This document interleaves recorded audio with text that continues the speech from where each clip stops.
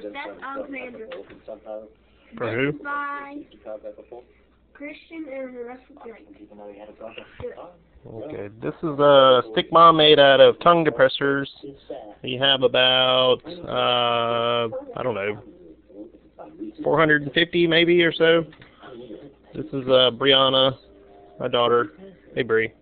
Hi. How are you? Okay.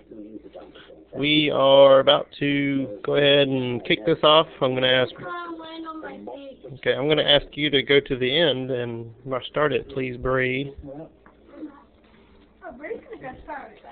All right. Now she's about to do it, and we're going to count to three. Okay. Christian, can you go on this side? There you go. Can you see it? All right. Three, two, one.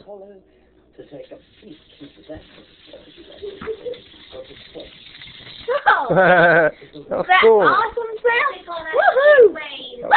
Good. That worked really good. Now that was our best one yet. Yeah, that was pretty cool. It actually lifted up off the ground. And it was the slowest one yet. Mhm. Slower's better. I like it slow. It's too fast, but it goes too fast. Cool. It was awesome. And that took us about 45 minutes to make. I Uh, guess. Not bad. That was really awesome. So next time we'll have one that's probably about three times as long.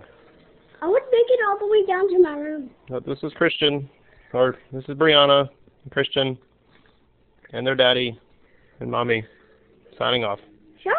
Show, show Bye. them yourself. Show them your face. I don't know if I can. Let's see. This is daddy. Yeah. All right. Bye bye.